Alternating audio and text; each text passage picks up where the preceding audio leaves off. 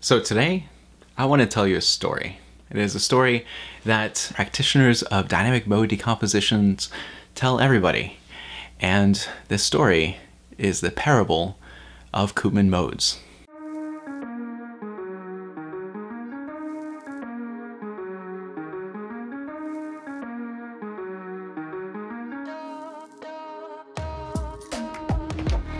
Hey, how was the city?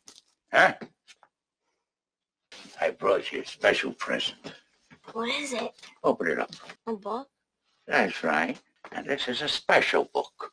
It was the book my father used to read to me when I was sick, and I used to read it to your father. And today I'm going to read it to you. Got any sports in it? Are you kidding? Fencing, fighting, torture, revenge, giants, monsters, chases, escapes, true love, miracles. Doesn't sound too bad. I'll try and stay awake. We've talked about dynamic mode decomposition. Last time I gave you a nice breakdown of what DMD is and what it's trying to accomplish, where basically it is a way of taking a look at your signal and trying to get a representation of it by taking advantage of the fact that you know it's dynamic or that there's some sort of underlying differential equation or underlying discrete time dynamics that will generate your signal. And so if you use this, then we can interact with things like the Koopman operators, the Liouville operators, and other operators in order to get a nice spectral breakdown of those operators, and then we can use that to rebuild our signal. And so I've given you uh, at least two different algorithms to take a look at you know, dynamic mode decomposition with. Uh, one exploited the Koopman operator with regular kernels, and another used the Liouville operator but with occupation kernels. The difference between those two is that Koopman operators have to assume that continuous time dynamics are actually discretizable. So this means that we're looking for dynamics that are what are called forward invariant. And if we want to drop that assumption, then you can work with Liouville operators directly and at the cost of using occupation kernels, which isn't really that much of a cost. They're actually special built to handle dynamical systems arising from first order differential equations. So then what is the goal of DMD? Why don't we just review this real quick? The idea is that we're taking a signal and we're doing all these finite rank representations of these larger operators using them. And the, the idea is that if we get an eigen decomposition of either the Koopman operators or Liouville operators, we can go ahead and build a representation of our full state observable. And through this representation, by using these eigenfunctions, we're going to have a whole bunch of vector valued weights. And these vector valued weights we call Koopman modes, Liouville modes, or more generally, dynamic modes. And the whole parable that we tell you is that these exist, and that they're actually a well-founded thing to go looking for. And I'm going to tell you that's not always true. So now let's talk about when it is true. If your Koopman operator or your Liouville operator actually uh, manifests as a self-adjoint operator, then we have a whole bunch of theorems from spectral theory that tell you that you should get an orthonormal basis that diagonalizes your operator. And we've even seen that this can work for unbounded operators, where in quantum mechanics, the Schrodinger operator that represents the quantum harmonic oscillator actually is diagonalizable by the Hermite functions. So when you have an orthonormal eigenbasis coming from a self-adjoint operator, then you do have well-defined Koopman modes. What you do is you take your full state observable, you take each one of those individual components that are just sort of represent the first dimension of your state, second dimension of your state, etc. You take each one of these and you take the error inner product against an element of your orthonormal basis, then that is the Koopman mode after you stack it for dimension 1, 2, 3, 4, etc. And then you make a vector out of it, that is the Koopman mode. Liouville mode or even the uh, dynamic mode, more generally. And so what does this require? Well, it requires this orthonormal basis. And orthonormal eigenbases come from self-adjoint operators or normal operators. And if you don't have self-adjointness or normality of your operators, and normality means that you commute with your adjoint, and self-adjoint means that you are your adjoint. If you don't have these ideas, then it doesn't necessarily mean they're going to have an orthonormal basis. So why don't we go ahead and talk about three different examples of Liouville operators that are going to give completely different collections of eigenbases. And these are so simple to talk about. These are the Liouville operators that correspond to the dynamics f of x is equal to 1, f of x is equal to x, and f of x is equal to x squared. So these are three different Liouville operators I'm going to be taking a look at. And they're super simple. We're going to restrict ourselves down to just one dimension. And I'll be able to show you there are completely different properties for each one of these operators. I promise I will not kill you until you reach the top. That's very comforting. But I'm afraid you'll just have to wait. I could give you my word as a Spaniard. I've known too many Spaniards. Is there any way you trust me? Nothing comes to mind. I swear on the soul of my father, Domingo Montoya, you will reach the top alive. Throw me the rope. So I'm going to be looking at each of these operators, which I only sort of formally gave you because I haven't actually given you the vector space that we're working over. And so in this case, we're working over the exponential dot product kernel space. And so this is a space that corresponds to the exponential dot product kernel, the e to the x times y. Now, this space is easily described. It is basically the space of all power series where the coefficients of the power series are L2 summable after multiplication by n factorial. So that means that these coefficients have to be decreasing very, very fast. And this space is actually directly connected to the Gaussian RBF space, just through a conjugation. Let's talk about the best of these operators, and that is going to be one that corresponds to f of x is equal to x. And so this is a densely defined operator, and it turns out that it is actually self-adjoint. What we have is we have two operations. We have a differentiation, and then we're following that by multiplication. For the Fock space, or the exponential dot product kernel space, the adjoint of multiplication by x is differentiation with respect to x. Symmetrically, the adjoint of differentiation by x is multiplication by x. So we know that the adjoint of this operator is actually itself. And I believe this is the only self-adjoint Liouville operator over the exponential dot product kernel space. And so that might actually be a little alarming for you. So if you change the space, then you change the dynamics that give you self-adjoint Liouville operators or even self-adjoint Koopman operators. And so you have to be very, very careful here about the kernels you select and what you expect out of them. Now, how are we going to find the eigenfunctions for this? Well, it's very, very simple. Since this is just a single variable case, we can actually turn this into a separable differential equation.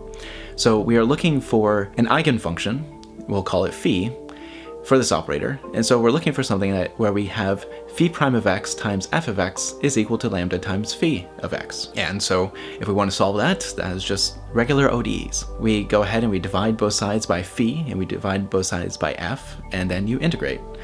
Now on the left hand side, we're going to end up with the natural log of the absolute value of phi of x. And this is going to be equal to uh, the antiderivative of lambda over f of x. Now, through a little bit of analysis reasoning using continuity and analytic functions, we can drop the absolute values off of the phi of x after we exponentiate. So ultimately what we end up getting is that we get phi of x should be equal to e raised to the antiderivative of lambda over f of x. And since we know that f of x is just x, we're going to end up getting e to the lambda times the natural log of x, uh, neglecting the constant from anti-differentiation. And so ultimately you get that phi of x should be equal to just x to the lambda. So now what can we do with that? x to the lambda isn't actually going to be inside of our reproduced kernel Hilbert space for every lambda.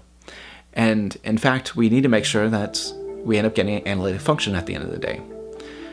So what we have to do is we have to select the, the lambda that are going to give us a well-defined analytic function from, say, negative infinity to infinity on our real line. And well, it turns out that the only ones that are actually going to work out here are going to be the lambdas that correspond to integer values. And so phi of x is equal to x to the m, where m is an integer. Or, well, a, a non-negative integer. Now, we could have actually worked that out earlier. We don't have to go through all that rigmarole, but it informs us how to do it for the other examples too. Now, so what do we have? We know that this is a self-adjoint operator, so all these phis should actually be orthogonal to each other if we have different m's, and certainly that's true.